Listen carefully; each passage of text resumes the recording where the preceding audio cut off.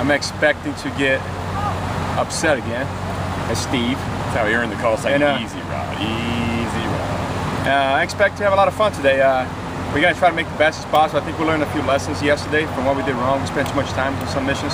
So uh, today we're gonna try to just uh, decide how much time we want to spend on them and just cut off if we cannot make them. Uh, we're from Jacksonville, so we'll be putting barriers if we cannot find every spot in this city. So uh, we tried to do that last night. We stayed up until 1.30 in the morning strategizing getting things done. And uh, oh, but I'm we'll fine. see what happens. Fine. Sorry.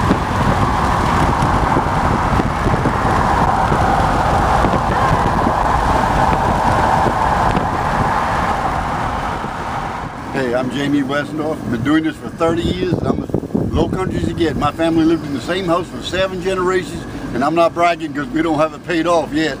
but what I'm telling you is when I do pigs and chickens and sausages and red rice and low country green beans, uh, smoked neck bone, Vidalia onion, red bliss potatoes, all cooked in a medley of low country spices to succulent perfection. There it is.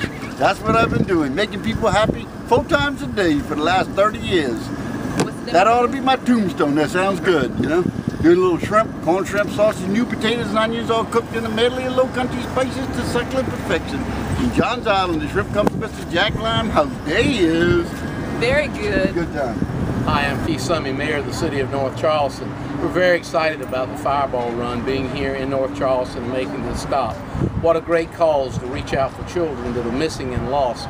Uh, a child is a wonderful experience in our lives, but they're an awesome responsibility, and it's the community's responsibility. So we all need to continue to work, and we just think this cause and these guys and gals that are out here driving these vehicles show how much they not only love life, but they love other people as well. So I'm excited about them stopping here in North Charleston today.